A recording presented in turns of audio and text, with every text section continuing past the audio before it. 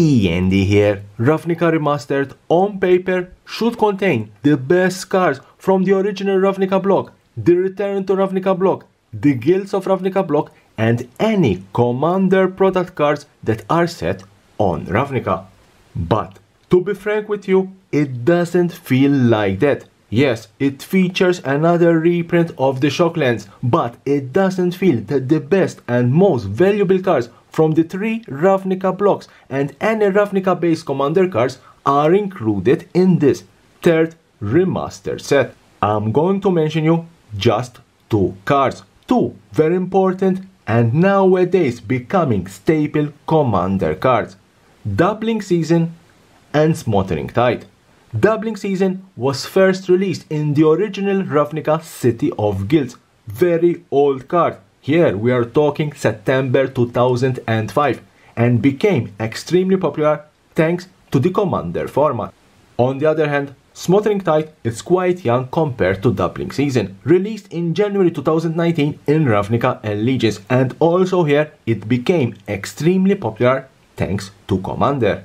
Considering the importance and value of both cards, plus they were released in a Ravnica related set, everyone was expecting these two juggernauts to be reprinted and featured in Ravnica Remastered. Honestly, couldn't imagine a set like this not to feature these two Commander staple cards.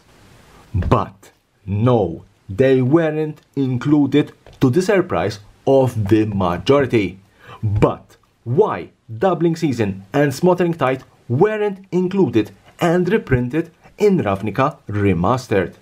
The answer is easy. This year, 2023, both Doubling Season and Smothering Tithe were already reprinted two times. Five months ago in Commander Masters and reprinted again just four months ago in Wilds of Eldraine Enchanting Tales. The result of this was a bloodbath to whom bought these cards at 90 and 50 dollars respectively in the beginning of the year because now you can buy them at half that value.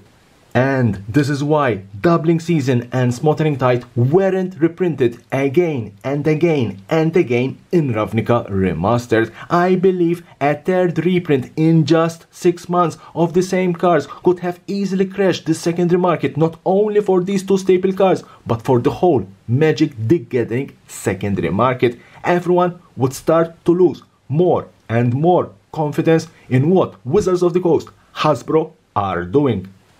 To conclude, I don't know how Wizards of the Coast design teams work, but surely there is some sort of miscommunication between teams. There is bad planning. I can't and I don't want to believe that reprinting the same two cards in just one month was done on purpose. Wizards of the Coast are becoming too greedy and they are releasing too much products that the market can't handle anymore. By now, everyone is aware that despite sealed products are becoming more expensive than ever, there is no so-called modern card that is value $100 or more. Leave me a comment. When do you think Wizards of the Coast will reprint these two staple cards? Because I assure you, these two cards would be definitely reprinted again. My guess, Modern Horizons 3 subscription button is here. Subscribe to my channel for more and more interesting videos about Magic the Gathering and the collectible world. I'm out.